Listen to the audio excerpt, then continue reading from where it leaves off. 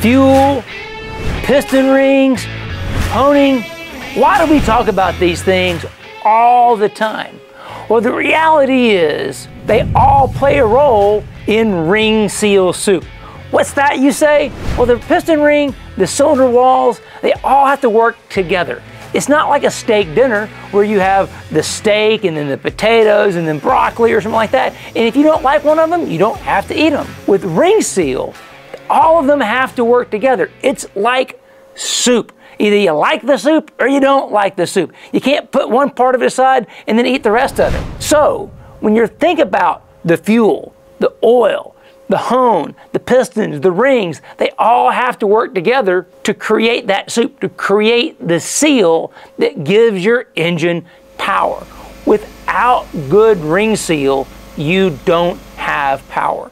We talk about this all the time. So why do we make such a big deal about it? Can, how much power is there really in this ring seal soup? Well, if you go back and watch the video series that Stapleton 42 did on my dad's old NASCAR engine, ring seal was worth at least 200 horsepower. That's right, 200 horsepower. After sitting for 18 years, that engine was down over 200 horsepower. We didn't find any broken parts in the entire engine. What we did find was some cylinders that had been really worn out and some rust and some things in the ring lands where there was pieces of that rust in the ring land that was hurting the ring seal. The engine had high blow by, over 10 CFM blow by.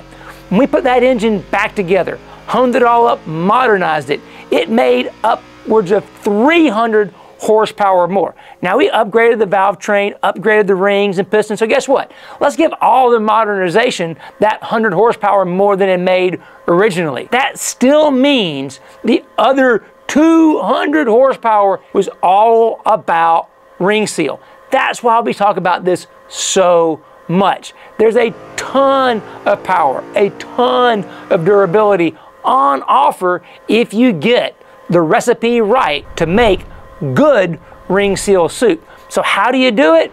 Well, the key is you got to make sure that you're getting the correct hone that has enough valley in it to hold the proper amount of oil depending upon how much fuel you put through the engine. I'm gonna give you some numbers. The RVK, that's the valley that holds the oil, on Dad's engine when it came apart was down in the 20s, very low.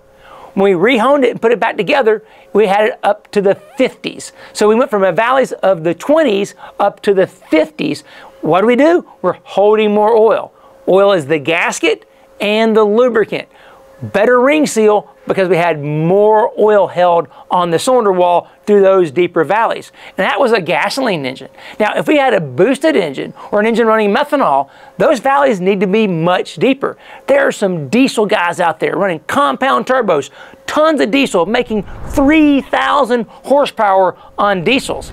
Those valleys are up to 150.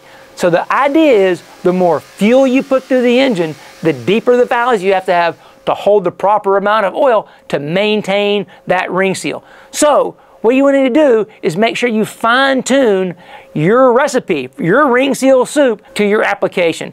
The more fuel you put at it, the more value you need. So the Total Seal Surface System, that bundle of the profilometer and the microscope lets you see and measure your cylinders to make sure you're getting that correct surface finish for your application. Because hey, who doesn't want 200 extra horsepower?